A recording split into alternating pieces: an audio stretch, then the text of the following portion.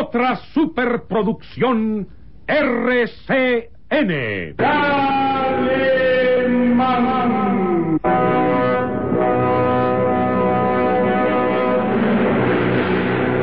Caballero con los hombres. Galante con las mujeres. Tierno con los niños. Implacable con los malvados. Así es.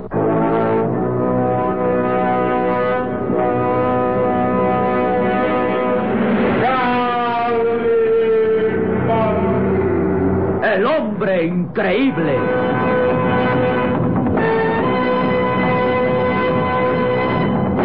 La más peligrosa aventura donde el misterio, la leyenda, los extraños ritos paganos, la traición y el crimen surgen a cada paso por tierras del oriente. El juego de la muerte. Inspiradora de sus memorias en la famosa revista de historietas Calimán. Estelarizada por Roberto Araya, Rita Rangel, Roberto González Cardoso, Luis de Alba como Solín, la narración del galán joven Isidro Olase e interpretando a Calimán, el propio Calimán. En un libreto original del mago del misterio, Víctor Fox.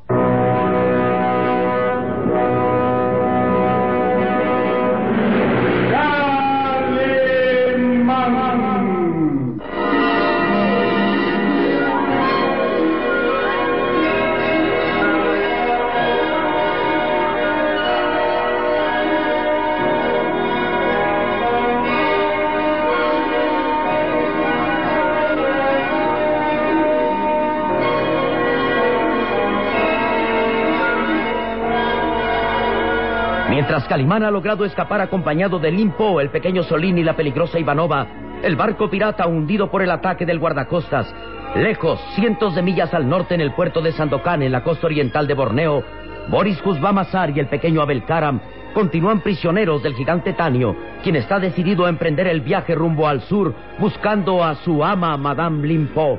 El astuto árabe, quien domina al pequeño Abel por medio de la brujería, planea un nuevo crimen. Escucha, escucha bien, Abel. Tenemos que dar muerte a Tanio. ¿Comprendes? Tanio es nuestro enemigo y quiere alejarnos de nuestra patria. Tanio es enemigo. Debemos matarlo. Aprovechemos estos instantes, aunque hasta ausente. Pronto entrará por esa puerta y tú y yo acabaremos con él. Te escucho, Boris. Nos jugaremos el todo por el todo. Tenemos que matarlo. De lo contrario, nos obligará a hacer un largo viaje hacia el sur. Y eso significa que jamás regresaremos a nuestra lejana Kiwi. ¿Quieres regresar a Kiwi, Abel? Sí, quiero estar en mi patria. Entonces debemos matar a Tanio. Escucha, tengo un cuchillo oculto entre mis ropas. Un cuchillo destinado a clavarse a la espalda de Tanio. Y tú me ayudarás. Cuando entre por esa puerta, fingirás que tienes un fuerte dolor en el vientre. Te tirarás al suelo gritando enloquecido. Gritas como si estuvieras moribundo. Tanio se acercará a ti para examinarte. Me colocaré a sus espaldas y cuando llegue el momento lo mataré.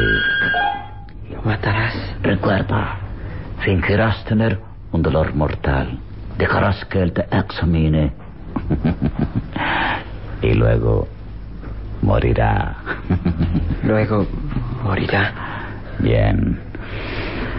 Ahora, quédate tranquilo. Yo te diré cómo debes obedecer.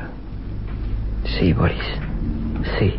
El pequeño Abel, futuro rey de Kiwi, continúa dominado por Boris, quien por medio de un amuleto de brujería puede dictarle órdenes que el muchacho obedecerá al pie de la letra. No tardará mucho en regresar. El muy idiota cree que es fácil escapar de Sandokan. Cierto es que tenemos un avión preparado no lejos de aquí, pero necesitamos combustible para cruzar el mar y sobre todo un piloto. El muy idiota cree poder conseguir las dos cosas. Sus planes se vendrán abajo cuando entre por esa puerta. Lentamente avanza hacia la desvencijada ventana del cuartucho que le sirve de refugio. Sus ojillos verdosos quedan fijos hacia los cercanos muelles de Sandokan. De no ser por la intromisión de Tanio, ahora estaríamos ya rumbo a Kiwi. Y mis planes se consumarían al pie de la letra. Voltea a mirar burlón al pequeño soberano. Todo lo que tengo que hacer es regresar contigo a Kiwi. Ordenar que seas coronado como digno sucesor de tu difunto padre y gobernar a tus espaldas para alcanzar poder y fortuna. Se apoya contra el marco de la desvencijada ventana. Sus recuerdos se avivan en la mente. ¿Qué habrá sido de Calimán, del muchacho y de Madame Limpo? Tenemos informes de que lograron escapar de Borneo navegando rumbo al sur, hacia las islas del archipiélago indonesio. Pero no creo que volvamos a verlos. Hmm. Espero que Calimán haya muerto. ¿Qué diablos? No sé por qué tengo que preocuparme por ellos. Están muertos sin duda. Iniciar un largo viaje para buscarlos será tiempo perdido. Lo mejor es matar a Tanio y proseguir nuestro viaje rumbo a Kiwi. De pronto reacciona vivo. Ahí viene Tanio. Desde la ventana ve avanzar al gigante asiático por la estrecha callejuela rumbo a la casucha. Abel, Abel, preparado, ya viene, preparado. Estoy listo, Boris. Cuando tú lo ordenes.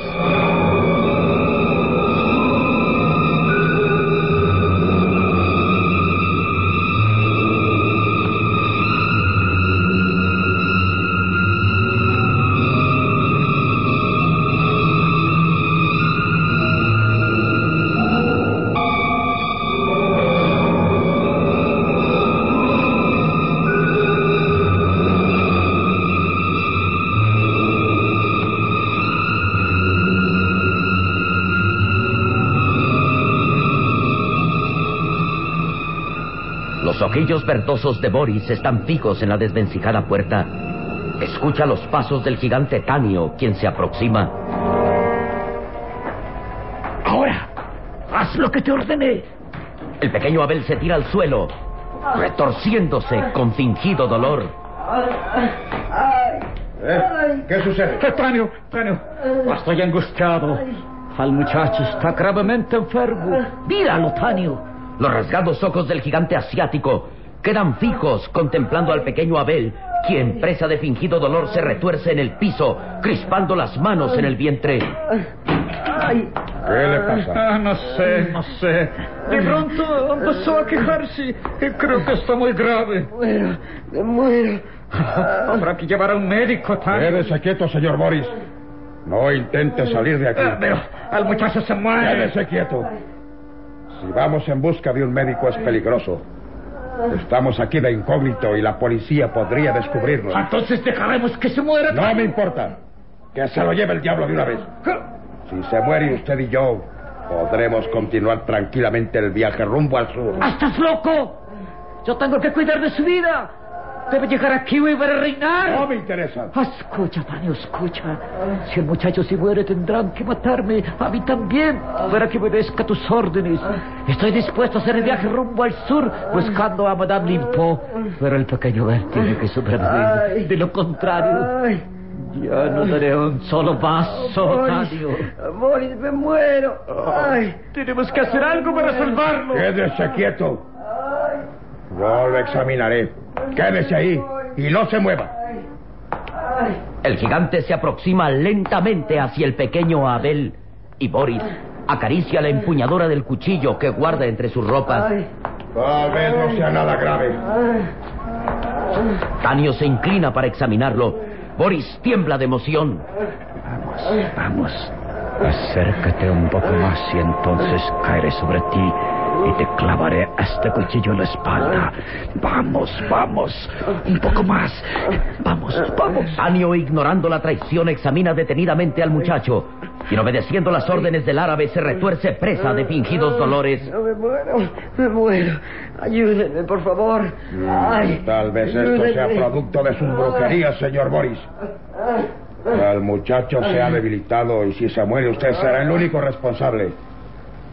Mm, tiembla de pies a cabeza. Creo que en verdad está muy grave. Boris, colocado a su espalda, desenvaina el cuchillo. Este es el momento. Se lanza contra Tanio, pero este reacciona de inmediato. ¡Muere, maldito! ¡Suelte ese cuchillo, señor Boris! ¡Suéltelo! ¡Mi brazo! ¡No, no, no! ¿Quería matarme por la espalda, eh, señor Boris? ¡Mi brazo! ¡Pero ese brazo! ¡Suelta el cuchillo! ¡Suéltelo! Una ingeniosa trampa, ¿eh? Ordenó al muchacho que fingiera estar grave para atacarme por la espalda. Suéltame. Ay, me rompes el brazo. Merecía que lo matara, señor Boris. Una vez más me ha traicionado. El gigante lanza violentamente al árabe, quien cae como fardo y queda inmóvil, sintiendo que su brazo se ha roto. No es fácil traicionarme, señor Boris. No es fácil matarme con un cuchillo por la espalda. Ah, maldito sea. Estoy cansado de sus traiciones, señor Boris. Creo que mejor será matarlo ahora mismo. Sería tan fácil romperle todos los huesos. Pero no, no lo haré. Antes debemos hacer un largo viaje. Solo hasta saber si Madame Limpo vive. Su sentencia será dictada. ¡Vamos, levántese! Sí. Sí, Tania. Sí. Boris. Boris. Y tú, muchacho, levántate también. Ya basta de farsa. Deja de fingir si no quieres que te... No, no, no, no, no, no, no, Tanio. No le hagas daño.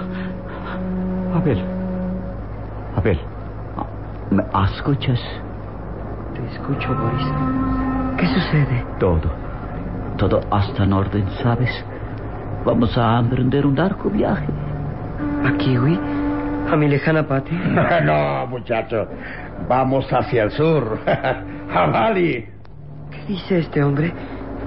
¿A Bali? Sí. Sí, a ver. Tenemos que obedecer. Viajaremos rumbo al sur.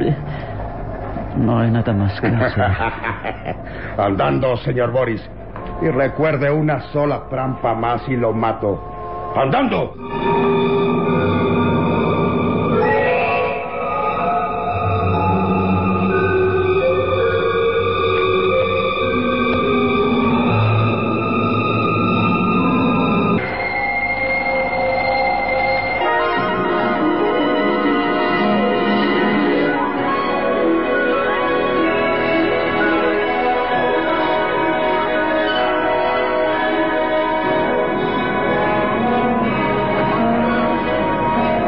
Sol de la mañana cae a plomo por las desiertas callejuelas de aquel barrio cercano a los muelles de Sandokan. A esas horas el comercio se intensifica precisamente en los muelles y el resto del barrio semeja un solitario cementerio de casuchas semiderruidas y miserables. El gigante Tanio, vigilando a Boris y al pequeño Abel, avanza por un estrecho callejón. ¿Estás loco, Tanio? ¿Te das cuenta que para proseguir el viaje en el avión que dejamos abandonado necesitaremos combustible? necesitaremos un piloto porque, si no lo recuerdas, mataste al que venía con nosotros. Él quiso morir ya que intentó atacarme. Pero ¿cómo solucionarás todo esto? ¿Cómo? ¿Cómo piensas la conseguir otro- boca y mira hacia allá. Ah. Señor Boris. ¿Qué? ¿Un camión de transporte? Lo conseguí fácilmente. Vamos, que en ese transporte viajaremos hasta la solitaria playa donde abandonamos el avión. ¿Cómo? Camina, Boris. Avanzan hasta el pesado transporte abandonado en la solitaria calle. En la parte posterior una gruesa lona cubre la carga y el gigante abre la portezuela. Suban. Piensa bien lo que haces. Si has probado este camión, no lograremos salir del muerto. Deje de hablar y obedezca. ¡Suba! Y tú también, muchacho. Boris, tengo miedo. ¿A dónde nos lleva este hombre? Tranquilízate, Abel. Si obedecemos, nada malo ocurrirá. Justamente, señor Boris. Una traición más y los dos emprenderán el largo viaje hacia la muerte. Vamos, suba de una vez. Boris y el pequeño Abel se acomodan en el asiento delantero del transporte. mientras el gigante asiático cierra la portezuela y avanza hacia la del lado contrario.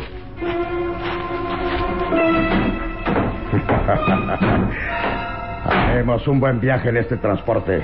En pocos minutos llegaremos hasta donde dejamos el avión abandonado. Es posible que la policía, el servicio de guardacostas lo haya descubierto. Y si fue aceitario, todo está perdido. Ah, habrán descubierto el cadáver del piloto y tú... tú- Cierre la boca, señor Boris. Ya emprendemos el viaje. Tanio acciona el switch del motor y mirando burlón a sus prisioneros pone en movimiento el pesado vehículo.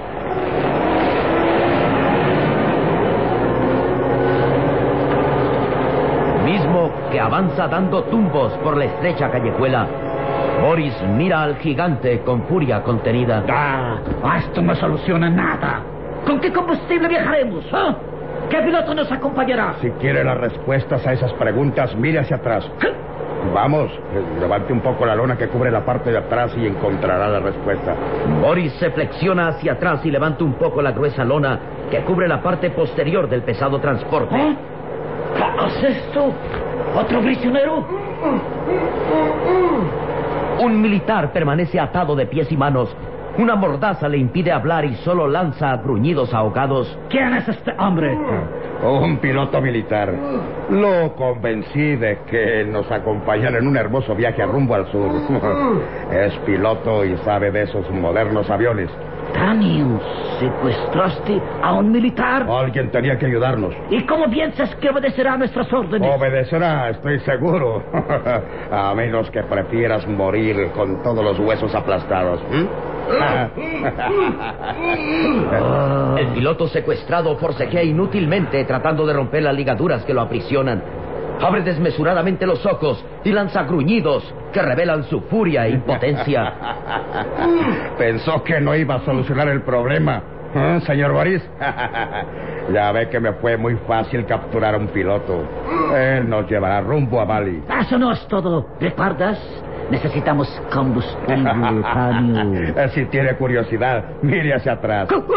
Descubrirá cuatro tambores llenos de combustible. Por todos los diablos. Es verdad. En la parte posterior del transporte están cuatro pesados y grandes tambores llenos de combustible. Boris palidece. Se da cuenta de que el gigante asiático ha solucionado todos los problemas y tendrán que continuar su viaje rumbo al sur.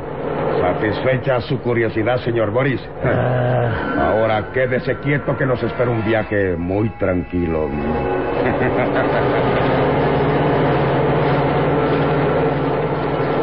El pesado vehículo enfila ya por el polvoso camino que conduce a las solitarias playas donde quedará abandonado el moderno transporte aéreo.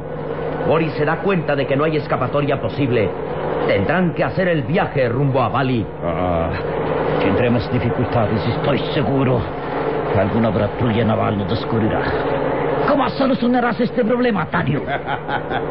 Nada ni nadie nos detendrá. Ya verá, señor Boris. ya verá.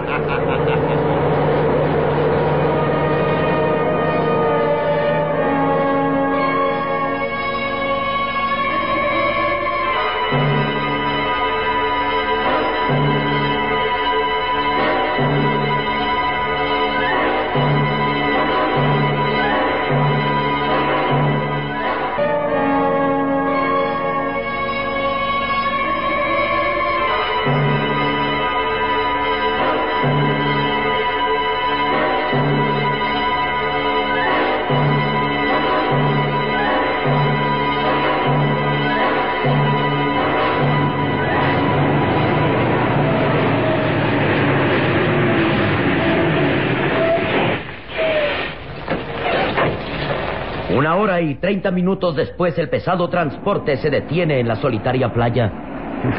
Tenemos suerte, señor Boris. Vea, ahí está aún el avión. Es verdad.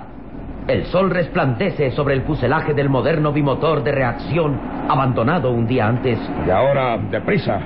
Tenemos que cargar el combustible y prepararnos para el vuelo. ¡Abajo todos!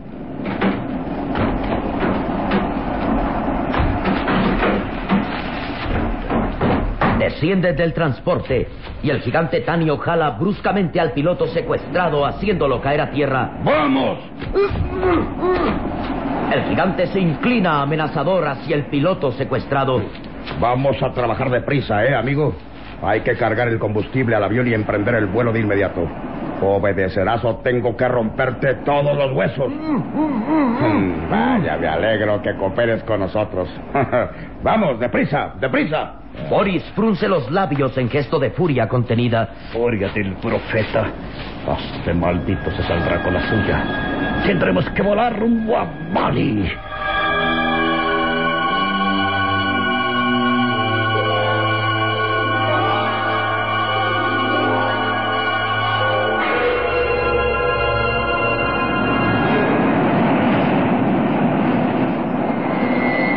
Cientos de millas al sur, Calimán y sus compañeros continúan navegando en el frágil bote de remos.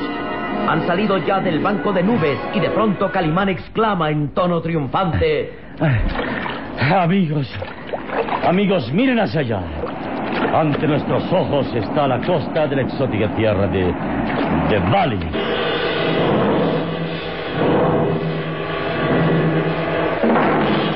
¿Podrán desembarcar en Bali? ¿Qué peligros les esperan en aquella exótica y legendaria isla del archipiélago indonesio?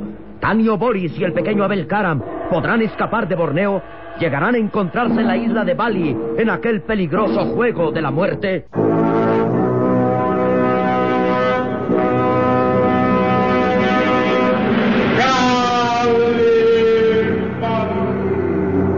En nuestro próximo programa habrá más emoción y misterio en El juego de la muerte.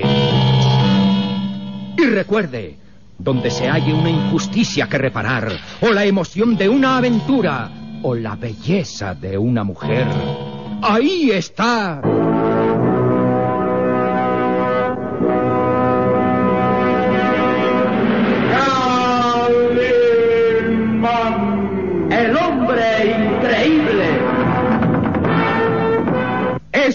Otra superproducción RCN realizada por Alfa.